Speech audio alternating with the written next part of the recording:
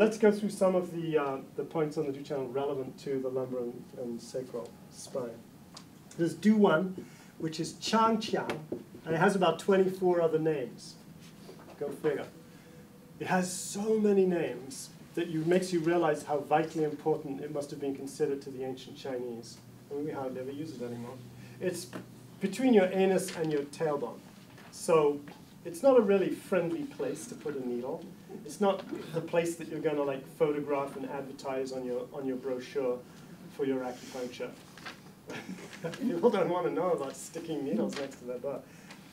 Um, but it used to be a very important point. It's a very important point in Taoism and Taoist self-cultivation, um, where it has most of its names refer to the idea that something starts a journey which culminates at governor vessel 16, which is right around C1 at the top of your head. So of course it fits perfectly into that idea that is expressed in craniosacral therapy, that you've got this linkage from the tailbone to go to C1 and C2. Um, for example, one of the alternative names of Governor 1 is Cao Shilu. Um, Cao and Shi were two of the seven judges in some ancient Chinese story about judgment after you die. Um, and Lu means the road towards those guys. And right here is Cao Xi, the point itself, which is an alternative name for Governor Vessel 16. So you've got the road to Cao Xi, and you've got Cao Xi itself, right at the top. That's Changqiang Governor Vessel 1. Um, I don't really think it has any kind of element designation, except that it starts the whole process off. Uh, and then you have uh, Governor Vessel 2, which is between the sacrum and the tailbone, and it's called Yao Shu. Is it called Yao Shu? It's called Yao Shu, right, people? You know? Mm -hmm. I believe so. yes, yes, Yao Shu, right? Yeah.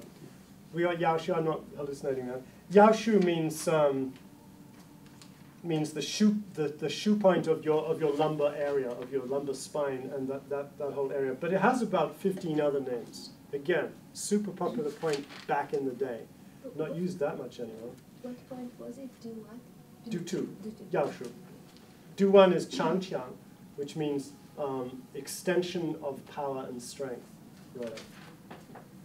Um, and then we don't have any Du channel points in, in modern Chinese thinking until we get up to um, L4, and that's Du 3, right? And Du 3 actually was not defined until I think the 10th or 11th century. That means it's a complete newcomer when it comes to when it comes to acupuncture points. It's interesting. They didn't even they didn't even go there until like the 10th or 11th century. Um, and it's Yao Yang Guan, which is the the gate of the hinge of the of the of the waist, basically. Um, I don't have much to say about it, actually, um, except that I believe that you can use any of these zones on the governor channel to, to access the energies, to access the five element energies. That's just my belief. If you want to do that, I believe you can go for it. For example, this extra point here underneath L5 is incredibly useful. Shi Xia, people call it, which just means 17th wacky point in Chinese, pretty much, um, or beneath the 17th vertebra.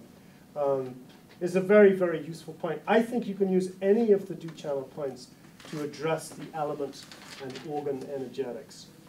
That's just my opinion. But many of them have not been defined in Chinese medicine yet. Why do you think L5, why do you think that point is so useful? What do you use it for? It's level with that. Well, it's th this this area here is where people's backs most commonly get messed up, oh, okay. right? And and quite often, quite often it's useful to work right there, right right above the disc that's gone or atrophied or damaged or is in, or is hurting or something. And we'll talk we'll talk a little bit about how to actually do that. We'll do some demo work and work on the, the governor channel because there's very specific ways to needle the governor channel um, and specific ways not to as well, potentially. Um, okay, so then the next Du point that is relevant to our story here is Governor Vessel 4, Du 4. Now, Du 4 is Mingmen, um, and Mingmen is the gate of your destiny. And it's at the bottom, because we've got the outer, outer back shu line talking about the Shen, and then the last point on this outer, outer back shu line pretty much is, you know, bladder 52, the house of the will, right? So right at this level of, of L2 is pretty much where we stop working with the Shen. It's the last point on the Shen, and it has to do with the will and destiny, right? Because if you don't have a will, you ain't you ain't following destiny. Destiny in Chinese thinking is um, not something that is destined to happen. It is something that you need to live according to, right? That's the mandate of heaven. Is a more accurate description of the term Ming Men. It's a better translation actually. It would be the mandate of heaven gate or acupuncture point. The mandate of heaven gives you all this like, um, gives you an instruction set. And as long as you're listening to yourself, you can follow it. But of course, you have to have your will in place so that you go to bed on time, so that you don't, you know, do addictions, and so that you manage your psychological process and your spiritual process and so on. So, you know, it's a very significant area.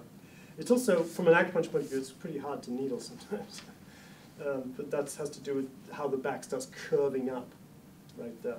Now, what's also interesting about the fact that this is such an important area and the, and the end, in a sense, of the descent of the Shen down into the physical. What's kind of interesting about that is that you, you've got a spinal cord that's coming down out of your, out of your brain, and the spinal cord um, has cerebrospinal fluid circulating in it. And the cerebrospinal fluid is moved by these little ciliated hairs that are, that are, that are uh, that move the, the fluid up or down, uh, around, and so on. And in, the, in a child, well, in an embryo, the spinal cord descends way down the spine. And then, and then as, the, as the embryo is growing, the, the spine grows further down past the end of the spinal cord. The spinal cord kind of stops growing, they're, they're equal, and then the spine just kind of starts descending down. And the point at which it, it, it's over, the end of your spinal cord, the end point from which the cerebrospinal fluid, this, this water force from your brain, can come down to is L2 in the average adult. It's right there, right at L2. That's the end of the spinal cord insofar as it's moving fluid, moving cerebrospinal fluid around. After that, the spinal cord just becomes the cauda equina, and it's just a bunch of nerve tissue and doesn't do quite the same thing. I think it's really significant that the Chinese kind of stopped the progression of the Shen line pretty much at L2 and said this is, this is the, sort of the final point, the point of the, of the mandate of heaven, and that that's where in the adult body, um, in most people, that's where the spinal cord is going to stop. And the spinal cord is moving a fluid, right? The bladder channel is water. The governor vessel is, is ruled by the kidneys in, from the point of view of elements. This whole thing is a water force on some level. I can't say much more about it than that. There is one other um, Du channel point that we need to pay attention to, and that's this one here, governor vessel 5, which is called Xuan Shu. And Xuan means pivoting, circling, or turning. And that might really just be an anatomical um, expression, an expression of the functionality of L1 you know, relative to T12 that has a lot to do with rotation. And I don't actually have any sort of cogent comment about that, I don't think. Okay, so now what I want to do is put up a massage table and um, start to locate these points. And um, I'm going to get a little bit into, you know, just some of the anatomy of the spine and in terms of working with people with massage and acupuncture, and the sacroiliac joints and the hips, because it's all it's all good stuff. So let's get a massage table. Thank you. Do you think that one's big enough? I actually don't know. I've never put it up. Let's put it up and see. Yeah.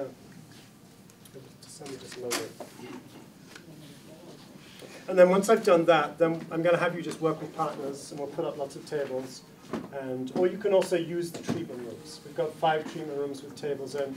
So you can go with a partner into the rooms and take some of these charts with you if you need to to help you. And, um, and we'll, we'll just explore the sacrum, the pelvis, and the lumbar spine.